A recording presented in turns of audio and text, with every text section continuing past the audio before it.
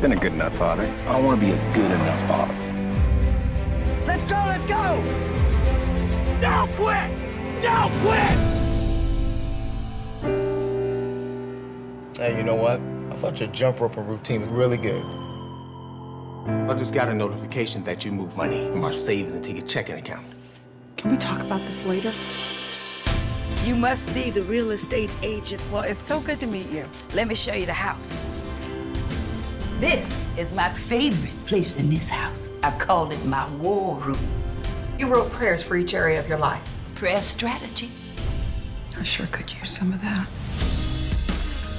Tony, you should go see her practice tomorrow. I'm out of town this week. When were you going to tell me? I just did. Tony, that was my favorite rep. I'm real good. How you doing? I wish I lived at your house. Whenever my parents are together, they just fight.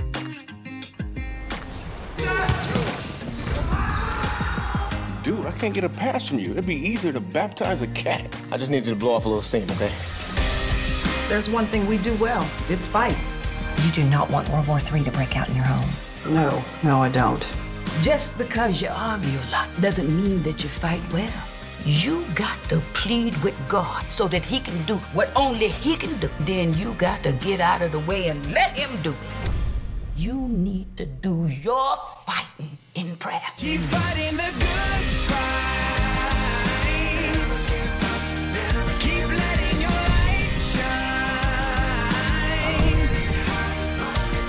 'Cause I'm I've never seen anybody do what you did. see you through. It's time for you to take off the gloves and fight for your marriage. Keep fighting the good Lord, we need an army of believers. Lord, call us to battle. Raise them up, Lord, Raise them up.